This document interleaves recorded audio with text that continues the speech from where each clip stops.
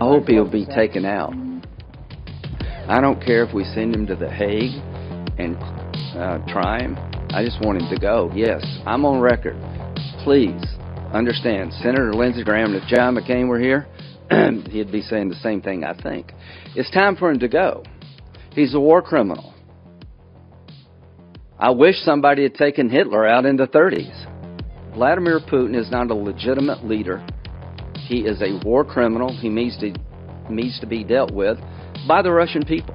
I encourage the world to strangle the Russian economy.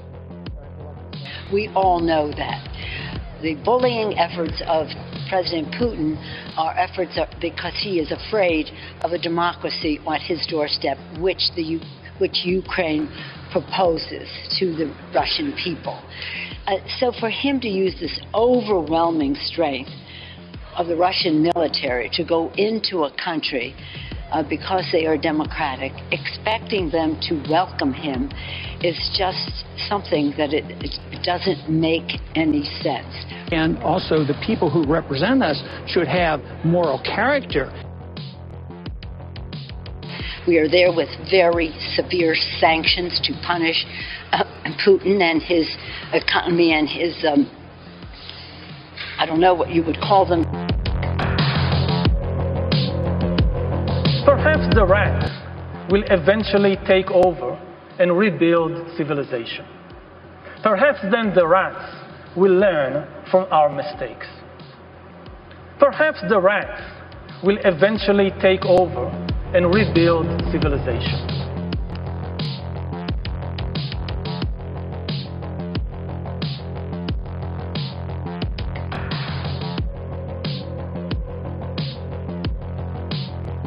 I hope he'll be taken out one way or the other. I don't care how they take him out. I don't care if we send him to The Hague and uh, try him. I just want him to go. Yes, I'm on record.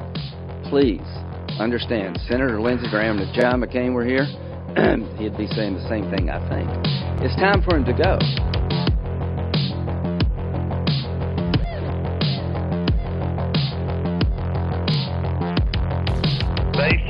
They can escape